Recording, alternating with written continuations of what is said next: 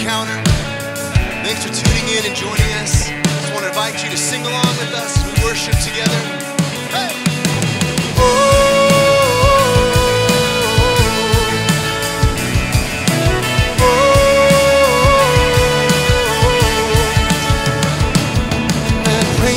Weapon that silences the enemy. And praise be a weapon that conquers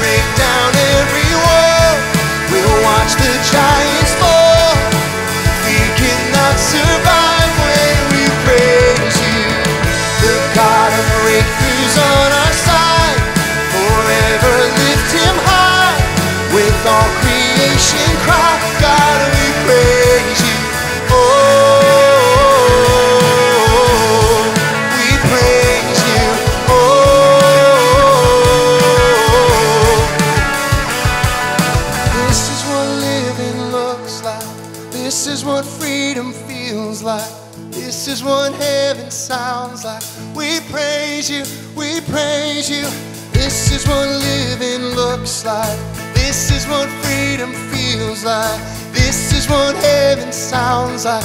We praise you, we praise you. This is what living looks like. This is what freedom feels like. This is what heaven sounds like. We praise you, we praise you. This is what living looks like. This is what freedom feels like. This is what heaven sounds like. We praise you, we praise.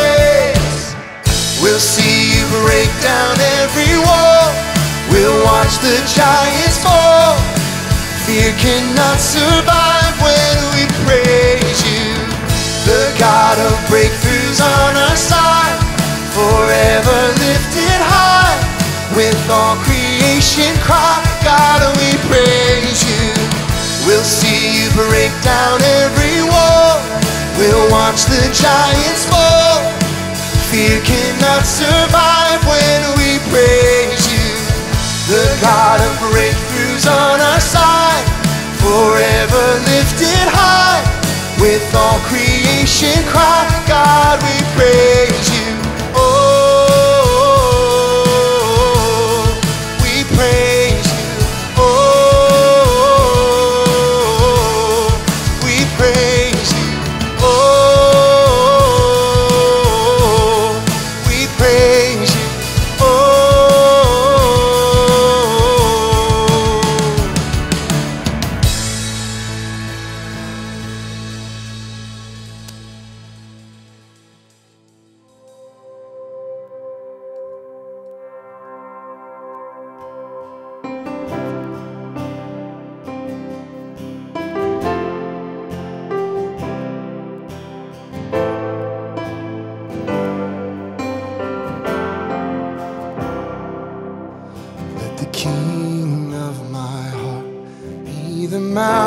Mountain where I run, the fountain I drink from.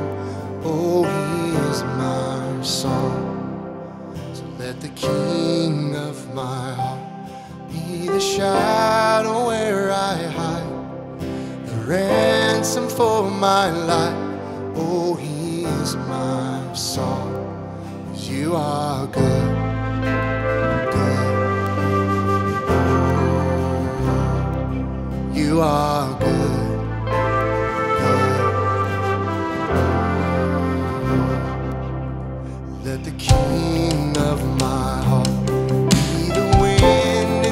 My sails, the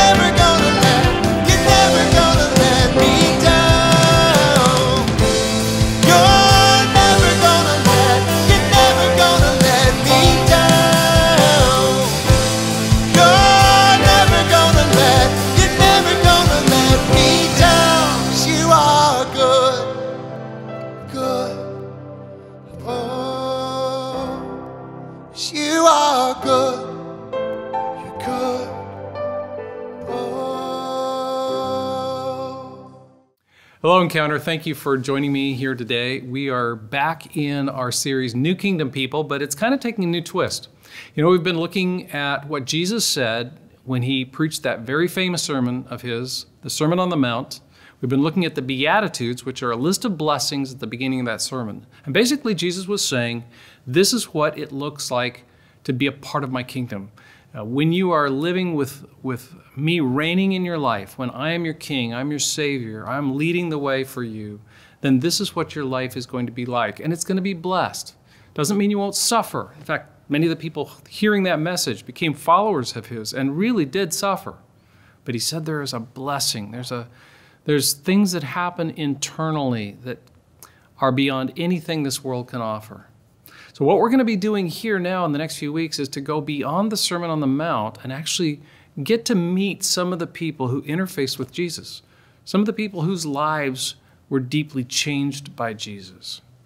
In fact, today, we're going to look in on a situation where a man, where Jesus confronted a man that was literally racked by demons. He was being controlled and influenced by demons.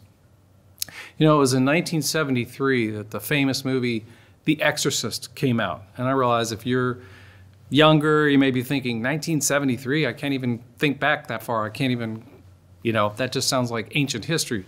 But back in 1973, The Exorcist was actually a super popular movie. In fact, I think it's one of the highest grossing uh, movies in, in the horror movie category of all time. But when it came out, everybody was talking about demons and demon possession and is Satan real and all that, and kind of sensationalized it all. The movie uh, was, I guess, very loosely lit based on some actual events, but it was very, very, you know, Hollywood esque. But people were talking about it, thinking about it. It was uh, definitely, uh, you know, kind of the, the conversation of the day. But then it sort of, you know, passed, and other things became popular, and people stopped talking about it. When I think about demons today, I think there's two extremes people can get into. One is that they just see demons under everything, like everything that goes wrong, you know, well, the devil made me do it, uh, kind of thing. And then there's the other extreme, which is just completely ignoring the demonic realm, ignoring the reality that we are in a spiritual war. And scripture is very clear that the whole demon world is very real. Satan and those that work for Satan are very, very real. So, this story sort of brings to light that reality. And I want you to get into it with me today. It's in Mark chapter 5. I think you're going to just love this, so we're going to dive right into it. I think it's a fascinating look at how Jesus loves people deeply and wants to deal with their spiritual oppression. And as we get into this, I just also want to challenge you. You may be thinking, well, I don't feel demon possessed, and I don't know anybody that seems demon possessed to me. But let me just have you look at it this way Satan is always at work. There are situations where it's very overt and we can tell, hey, that person is clearly being influenced by demons. But then so much of his work is much more covert and we don't really see how he's working. But scripture is so clear that he is working against us. He, he is seeking to devour people that love Jesus, to just wreck their lives.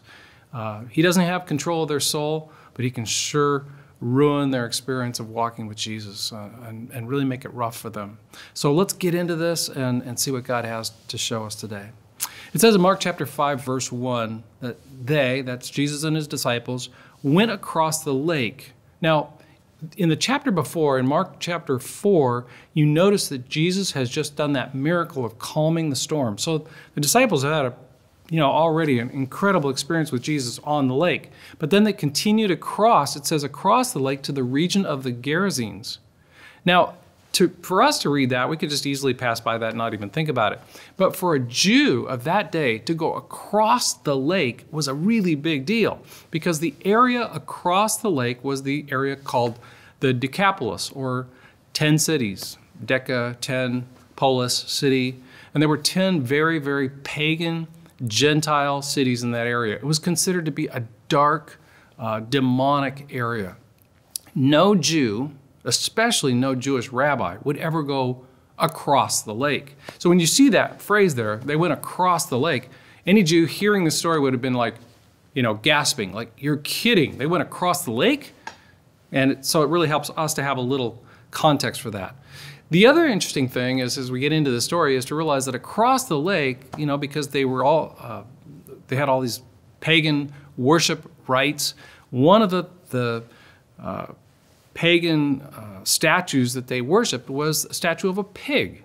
These people actually worshipped pigs. Now, think about a pig to the Jews. That's just completely the opposite of everything that's good and holy to a Jew. They would never eat uh, pork, for instance.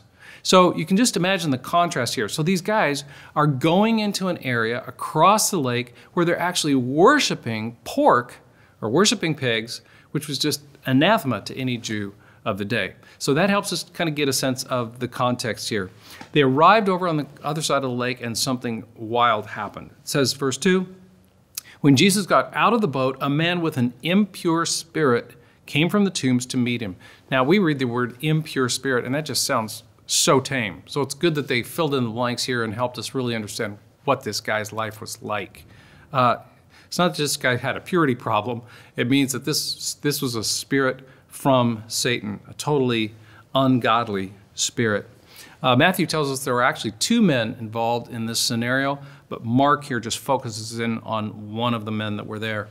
And uh, it's interesting, it also says that he came out from the tombs to meet him. So this guy is living among the tombs there on the edge of the lake. I've actually been to that area. It's a fantastic archaeological dig.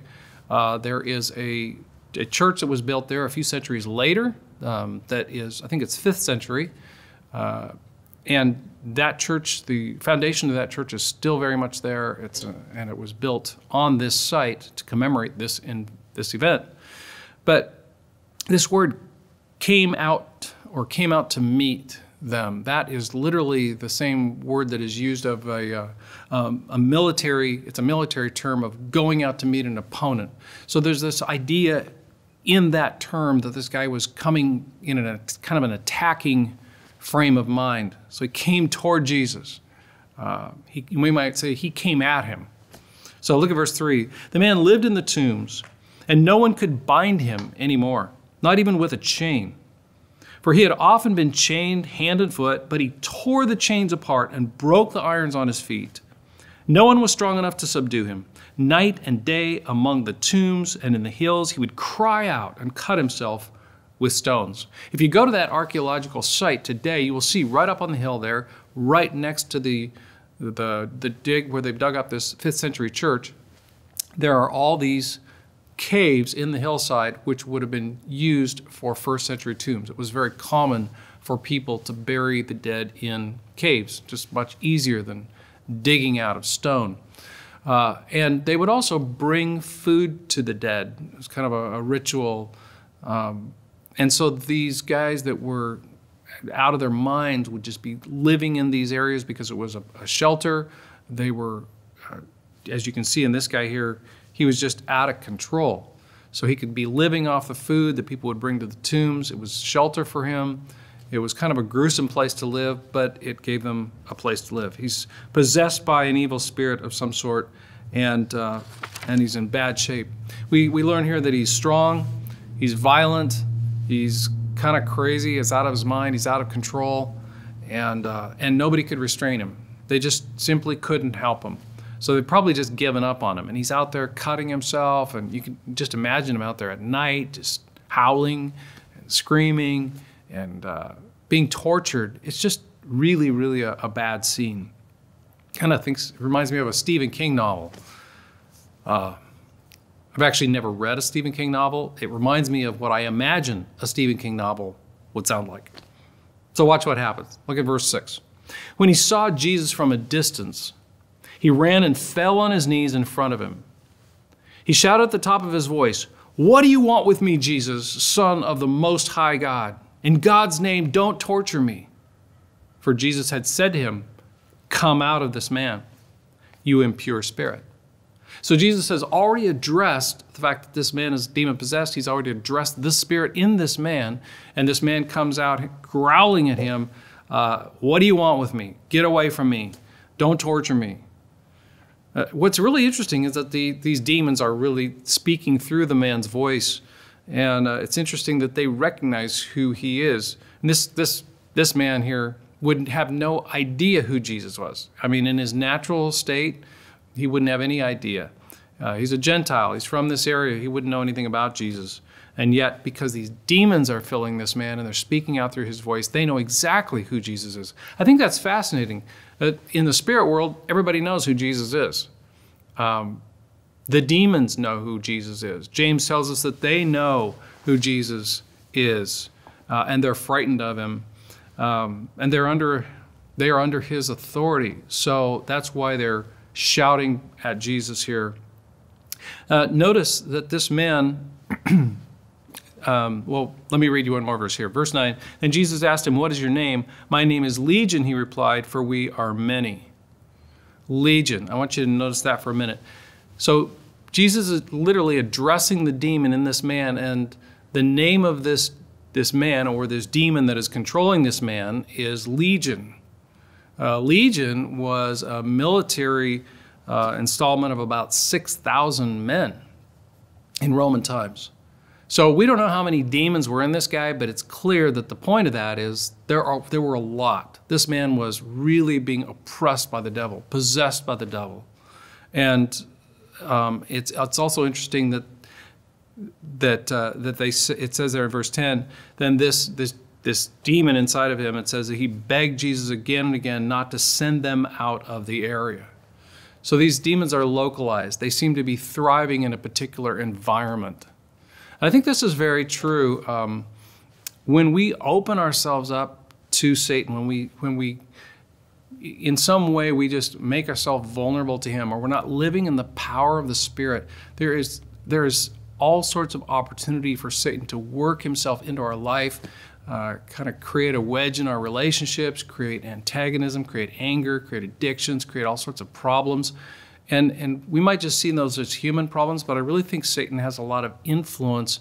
And i we don't know. We don't understand the demonic world. We don't understand how it all works. So we don't know what is uh, demonic activity per se, but we do know for sure that Satan is at work in people's lives, in their hearts, and, and his work is always set out to destroy them.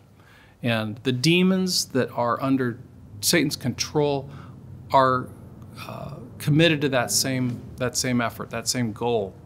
So how they all work, well, you know, people try to define, well, is this, you know, demons at work or is this Satan at work? Nobody knows. The point is, it's evil oppression, it's evil power, and there's all th- sorts of ways that we can make ourselves vulnerable to that uh, when we stop really staying close to God and His power and being filled with the Spirit and staying in prayer. As we're going to see here in just a few minutes, there are things that we can do to make sure that we are. Uh, reinforcing ourselves and, and keeping ourselves aligned with God so we have spiritual strength and spiritual protection. That's very important. So there's a lot of demons in this guy, and Satan is, or, or Jesus is going to address this now. So I want you to look now at verse 11. Let me just read it here out of Scripture because it's a little bit longer of of a section. Uh, it says there in Mark 5:11. Now a large herd of pigs was feeding on the nearby hillside. The demons begged Jesus, "Send us among the pigs. Allow us to go into them." He gave them permission, and the impure spirits came out and went into the pigs.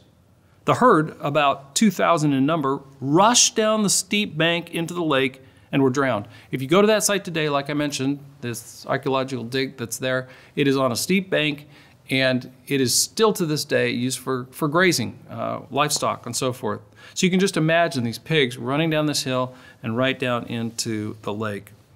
Um, those tending the pigs, now imagine the owners of the pigs weren't super excited about this. Those tending the pigs ran off and reported this in the town and countryside, and the people went out to see what had happened. So the owners go to town, they go to their friends and say, You won't believe what just happened.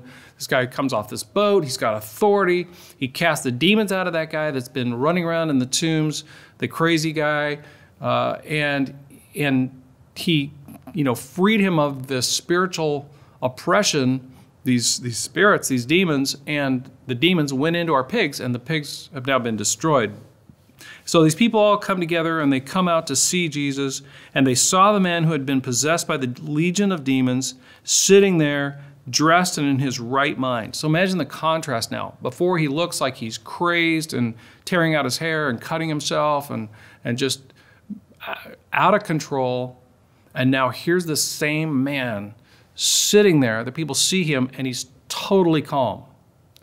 Imagine what a shock that would have been to these people. It's like, how is this possible? Is this the same guy that we saw before who was just out of control? And indeed it was. Uh, but it's interesting that I want you to see their reaction. Like, I'm thinking, I'd be like, dude, like running up to the guy, like, you look awesome. You know, like, this is amazing. This is the best day ever. But look at what happens. The people see him sitting there dressed in his right mind, and they were afraid. It says they were afraid. Those who had seen it told the people what had happened to the demon possessed man and told about the pigs as well. So that gives us some clue as to what they're afraid of. Then the people began to plead with Jesus to leave their region. They're so afraid of him, they want him to get out. They're afraid because they don't want his authority in their life. These people were very concerned about the pigs, and they realized this man has spiritual authority. This person who's, who's done this, he is powerful. And I wonder if they're even thinking, man, if he's that spiritually powerful, what would he see in me? I mean, if he has that kind of spiritual insight, spiritual power, they would just thought, this is just too much. This guy's got to leave. We got to get rid of him. Uh, who knows what kind of influence Satan was having over them as well in wanting him to get out of their get out of their region. But everything about this whole encounter just reveals the power of Christ. Think about it. Out on the lake, Mark chapter 4, Jesus demonstrates his power over all nature. He calms the storm. If you can calm a storm on a sea, you can do anything in the natural world. And now here he is in this situation with this, this individual that is being destroyed by satanic influences, by, by evil, and Jesus steps right into that and demonstrates his power, his authority in that situation as well. Well, the pig owners, they're furious. They don't care uh, uh, about the man. They don't care that his life has been changed. All they're concerned is about the pigs. Uh, I, I, think, you know, we got to give it to them in this sense that this was their livelihood. These pigs meant a lot to them. Uh, we don't care that much about pigs, but I mean, this was a lot of pigs 2,000 in their herd. Uh, think of it this way maybe if Jesus came and sent the, the uh, demons into 2,000 cars, brand new cars on a car lot, and all the cars started up and drove off a cliff and smashed, we might be like, oh, that's pretty big impact, uh, pretty big economic impact. Well, I think might, might have been what some of these farmers are feeling like. I just lost all my pigs. So why did Jesus do that? Well, I think he's making maybe a couple of points. One is this man's life is worth more than you realize. I think that might have been part of it.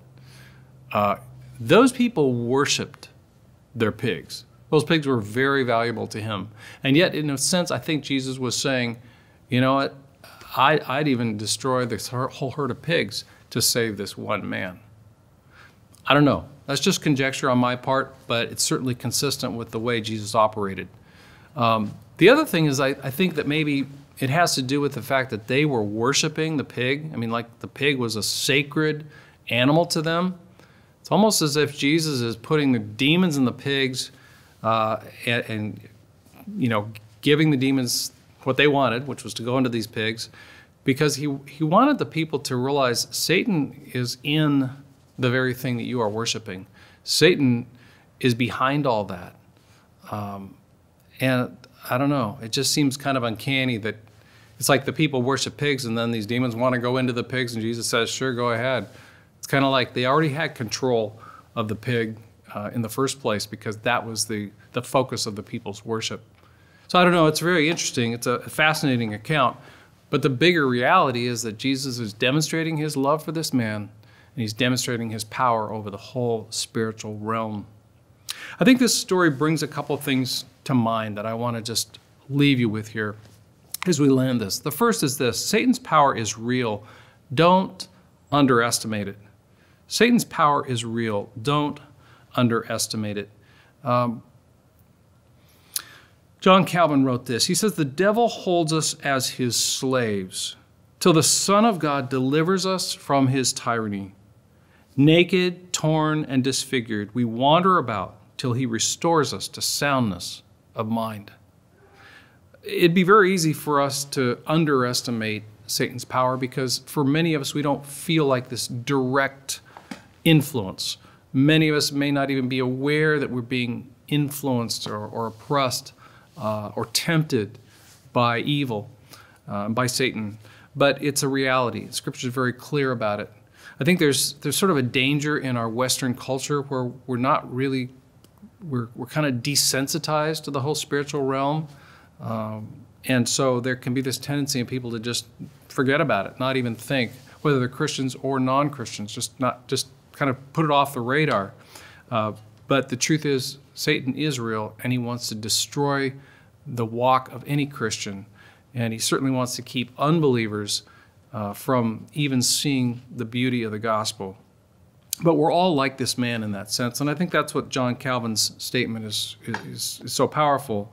Um, we're all being held in some way. Uh, Satan is having influence in our lives uh, and until the Son of God just comes in and delivers us by His grace. And I don't know where you're at in your own spiritual journey today, but I would just say this, man, just know that everything that's everything about Scripture makes it so clear that Satan is out to destroy. Jesus even said that he comes like a thief. He comes to destroy, to steal and to destroy. But Jesus said, But I have come to give you life. What a contrast. I've come to give you life and life abundant. So I would just say today, if, if anything, you get anything out of this message, it would be this just surrender yourself to the grace of God that is so great for you, regardless of where you've been in your past.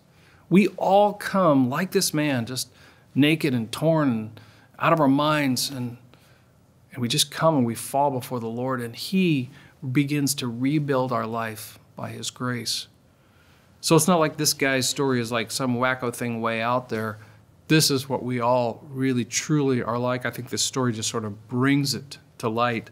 So I would just ask you, um, all of you, whether you're a believer or, or still on your spiritual journey toward Christ, do you think that Satan is in, in, in any way trying to influence you away from God or away from the truth?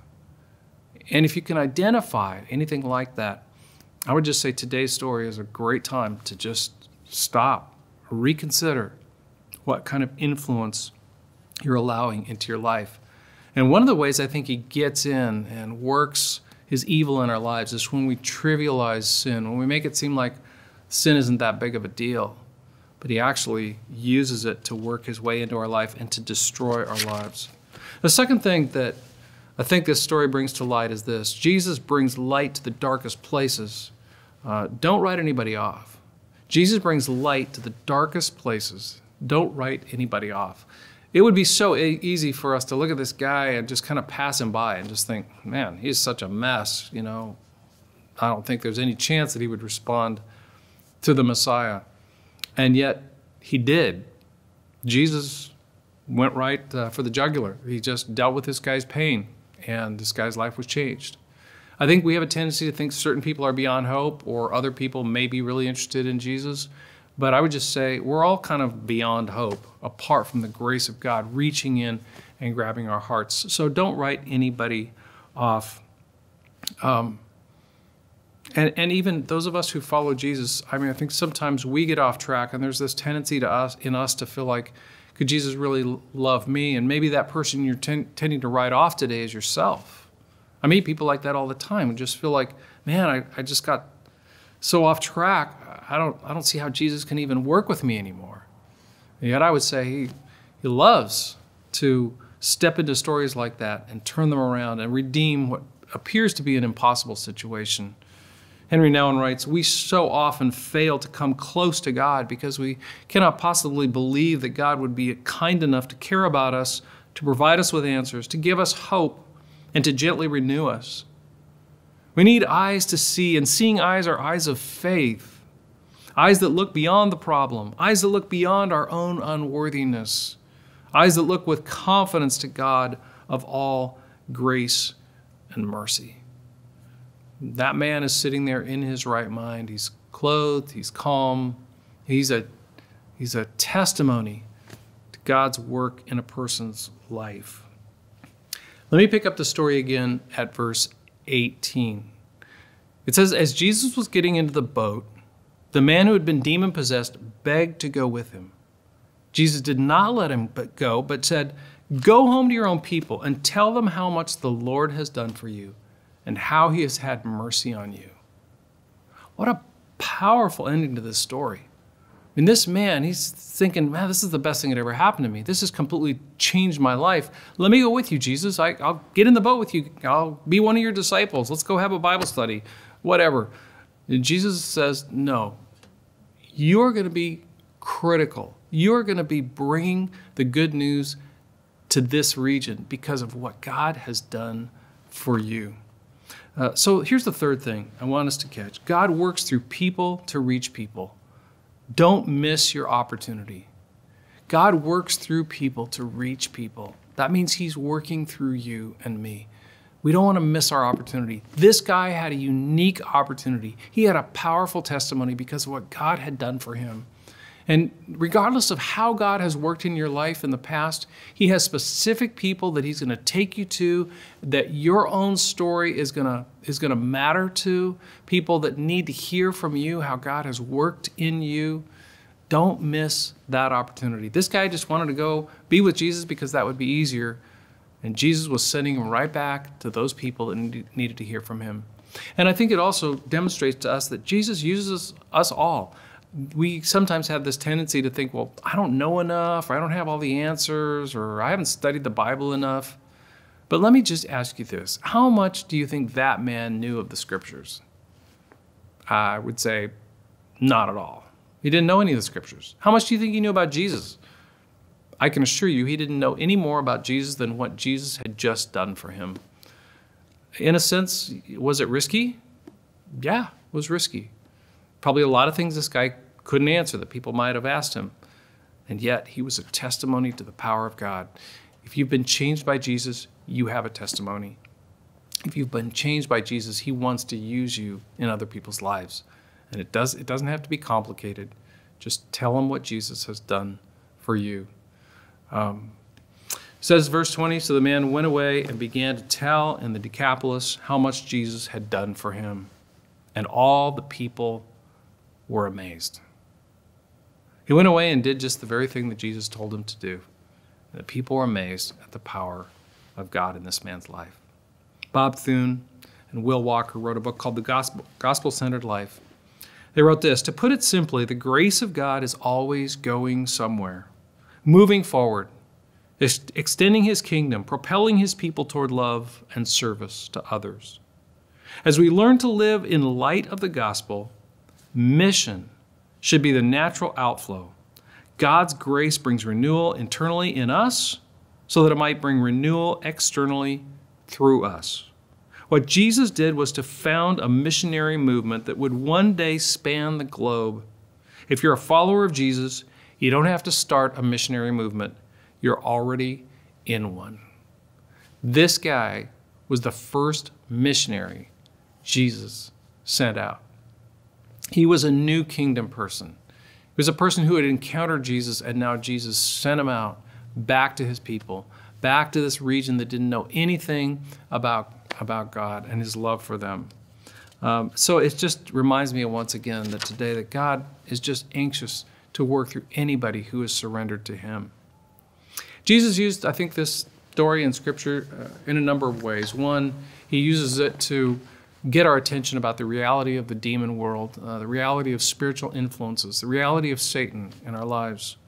I think he also uses it to expose the agenda of Satan. He wants to he wants to steal, he wants to destroy, and he destroys lives all the time. Um, and I think it also is it's it's a story that helps us stop and assess our own lives and ask ourselves am i personally aligned with jesus am i every every single day seeking his power to be at work in my life to protect me from all those influences that would pull me away from him and ultimately create destruction in my life I think Ephesians chapter 6 is a great place to land this.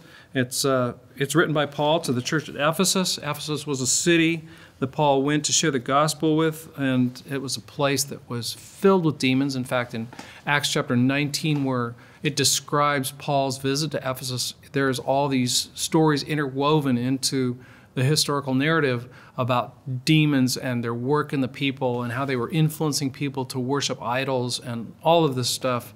And then back to that same church that had been established there to Ephesus, uh, Paul writes these words Finally, be strong in the Lord and in his mighty power. Put on the full armor of God so that you can take your stand against the devil's schemes.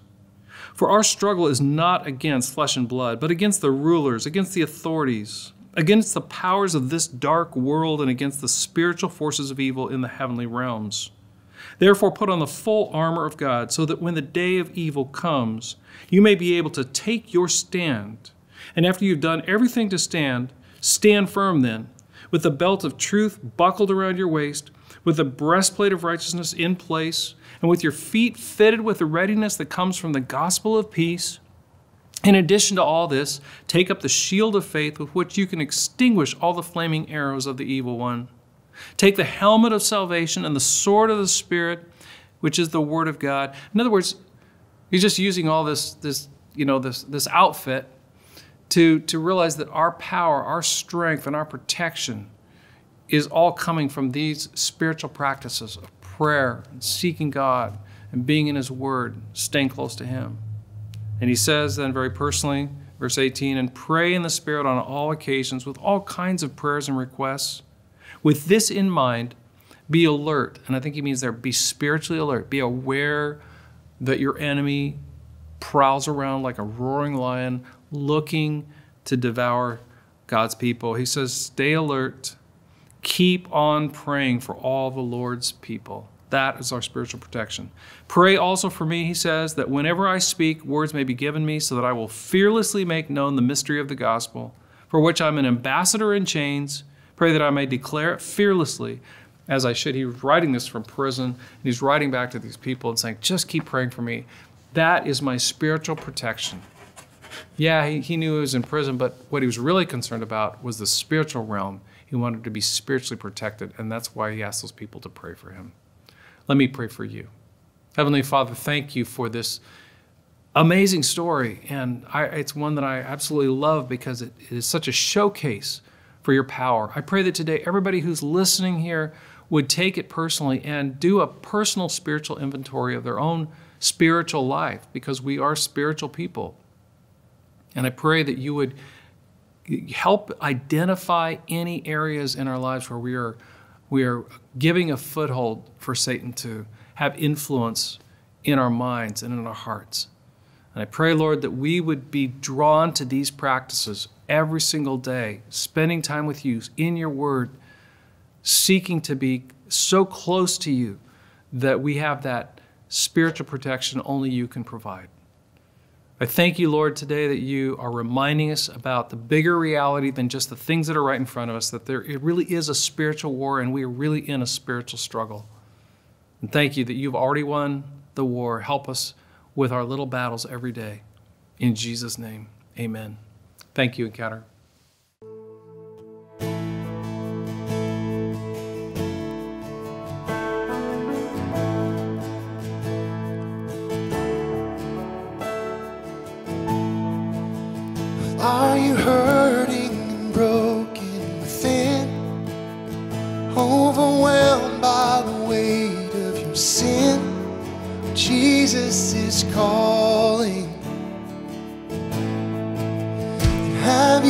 Come to the end of yourself? Do you thirst for a drink from the well? Jesus is calling. Oh, come to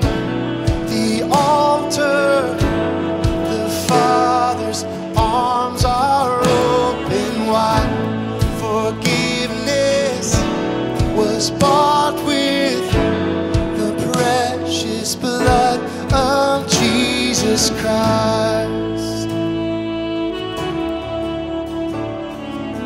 So leave behind your regrets. Leave behind your regrets and mistakes. Come today, there's no reason to wait. Jesus is calling.